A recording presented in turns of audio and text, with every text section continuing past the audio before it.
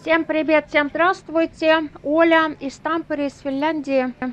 Я пришла в призму, хочу сделать маленький обзор, можно ли купить бюджетный купальник в плюс сайз на лето. Большая реклама идет по телеку.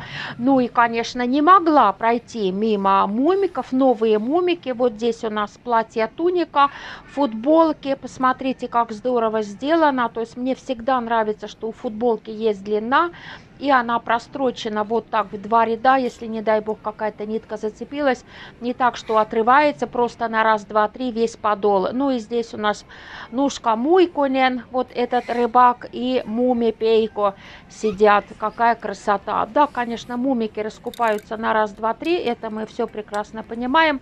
И здесь к этой тунике еще можно купить вот такие леггинсы. Ой, ну в таких порточках точно не проходите мимо будет из этой серии. Какая милота. Ну и всегда есть на эту красоту скидку. Скидки помните, если у вас есть S-карточку, ее можно оформить. Э, они рекламируют 15% скидки. И здесь у нас худи желтая и розовая. Ну и, конечно, вот это самая противная девчонка, которая говорит таким тихим голосом.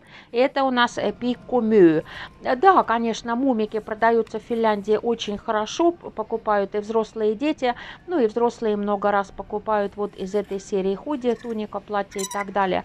Все собрано вот так. Ну и посмотрите, какая милая тельняшечка, тоже вот с этой противной девчонкой пиккумю. Ну и здесь у нас все финское собрано вот так. Здесь у нас нансо. Я только показываю вот эти полосатые в Тампере в центре, в Кошке Кескус. Там большие скидки сейчас э, на Нансо. Конечно, в Nokia есть Outlet. Я очень советую, если по Финляндии вы тусуетесь, в Nokia в Outlet заехать нужно. Ну и, конечно, там вы нароете хоть, как говорится, что, хоть слона на веревке, там есть все. И носки, и колготки, и Э, ночнушки и так далее. Но я пришла поснимать купальники. И помните, народ, упаковки открывать нельзя. Здесь у нас висят образцы. То есть, если вы чем-то интересуетесь, вот здесь висят образцы. Ну и какой же купальник купить в плюс сайз? Раздельный или отдельный? Или сплошной. Вот я всегда за раздельный. Мне кажется, что когда человек эм, для себя решил, никто его не может уговорить. Ой, да в плюс сайз только в, э, в, в сплошном купальнике вот эти телеса, вот эти жиры и так далее. Я всегда, как говорится, за то, что если тебе самой комфортно, хоть бы какие телеса у тебя не были, почему, как говорится, нет. Но всегда мера приличия должна быть. Иногда смотришь, женщины очень большого размера, но купальник куплен не по размеру, он впивается в телеса, в попу, и вообще такое впечатление, что попа съела по половину трусов. Да, иногда в Турции отдыхая, смотришь на этих дам и диву даешься. Но это получается только из-за того, что люди, собираясь на море, на отдых, не примеряют то, что они кладут в чемодан, и достав, вот такое получается, о-о, то есть ты растолстел за зиму, бывает такой раз, как говорится, и квас.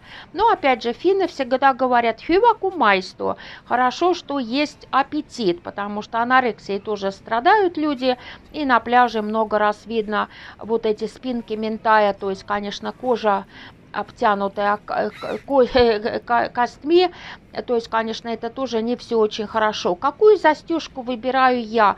Очень нравится застежки металл. Она, конечно, держит лучше, но, к сожалению, не всегда металл продается. Пластмассовые застежки есть, но они, к сожалению, быстрее ломаются. И мне нравится вот такая модель, где чашечки зашиты, а нет этого кармана, потому что если чашечка не прострочена и она намокает, она начинает деформироваться.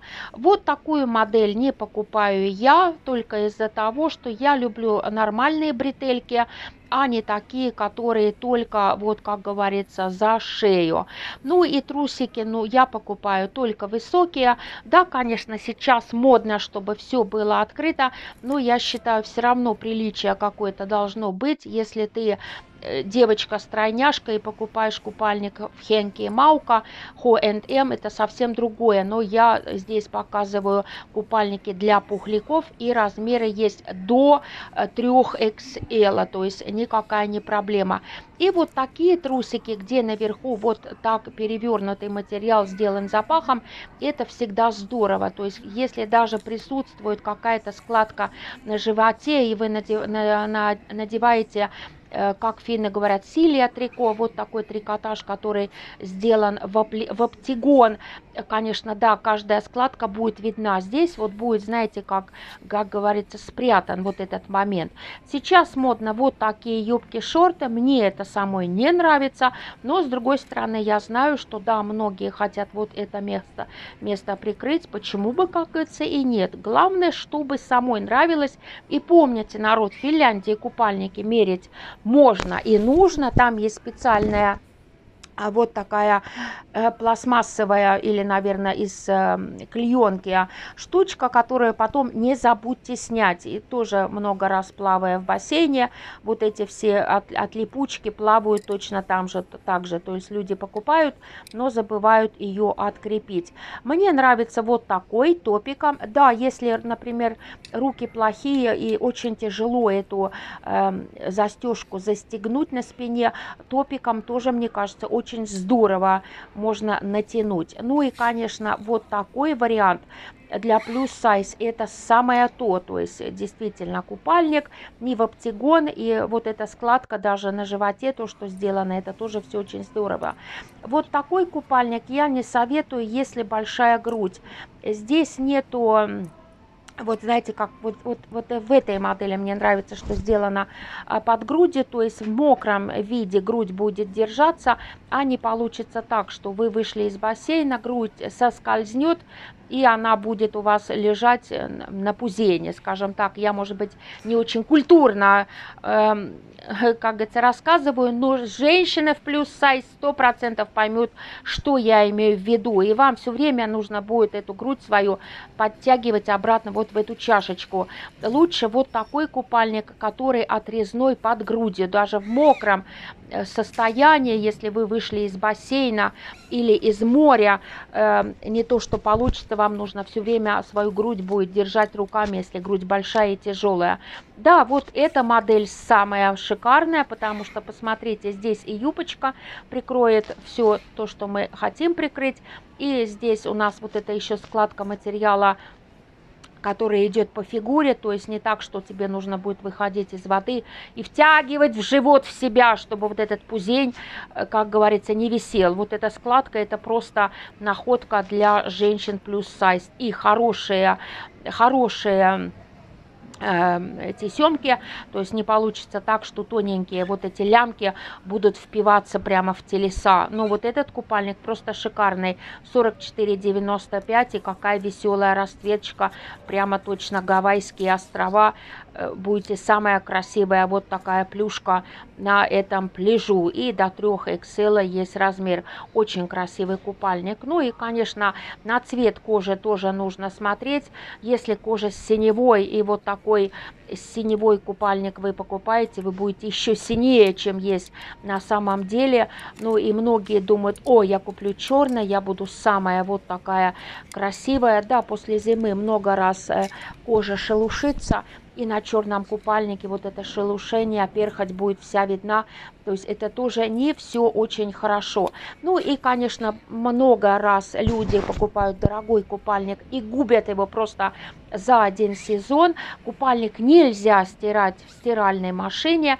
Э, потому что вот этот кондиционер и все эти э, средства, к сожалению, э, съедают люкру на раз, два, три. Нужно стирать только руками. Я, к сожалению, руками ничего не стираю и рассуждаю так, что мои руки дороже, чем купальник. Лучше купить новый купальник, чем купить новые руки. Но опять же, я купальник всегда кладу в мешочек и пытаюсь не добавлять кондиционер, когда стираю купальник после того, как мы приезжаем с юга долго.